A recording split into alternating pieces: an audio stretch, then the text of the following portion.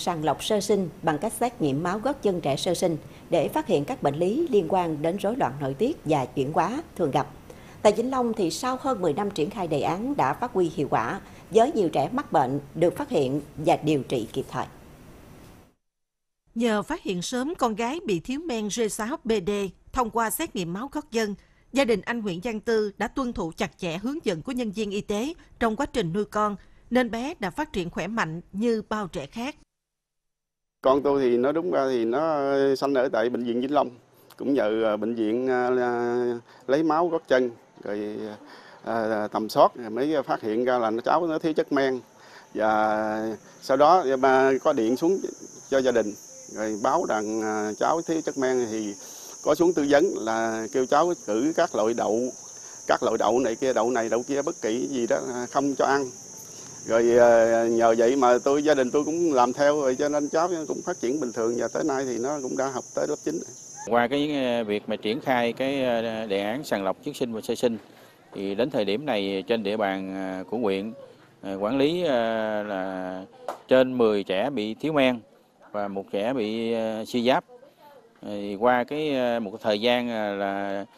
theo dõi và quản lý và tư vấn thì đến thời điểm này các trẻ này coi như là phát triển ờ, bình thường.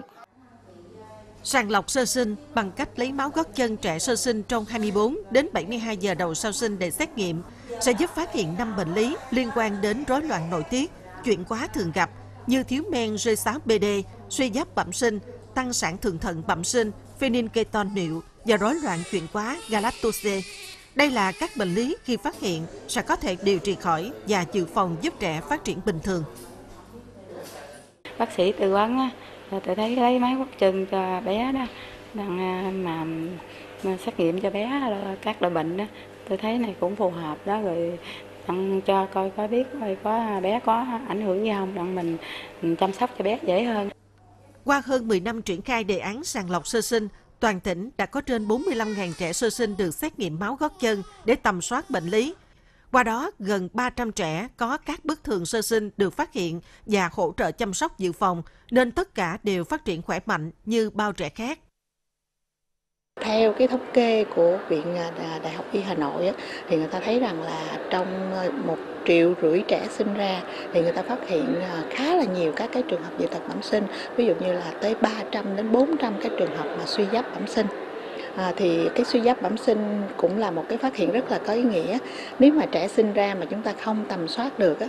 thì trẻ sẽ đần độn, chậm lớn và sẽ ờ, chậm phát triển cả về trí tuệ, cả về thể chất và đó ảnh hưởng cả cuộc đời của đứa trẻ cũng như là cái chất lượng sống cũng như chất lượng nhân số. Và nếu mà chúng ta phát hiện sớm thì chúng ta có thể điều trị can thiệp bằng cách là chúng ta bổ sung cái hormone tuyến giáp này cho trẻ thì trẻ nó sẽ phát triển rất là bình thường như những cái trẻ khác. Và còn nhiều cái bệnh lý ờ, bẩm sinh khác như thiếu men 6 BD chúng ta có thể là sẽ can thiệp kịp thời nếu như chúng ta phát hiện sớm.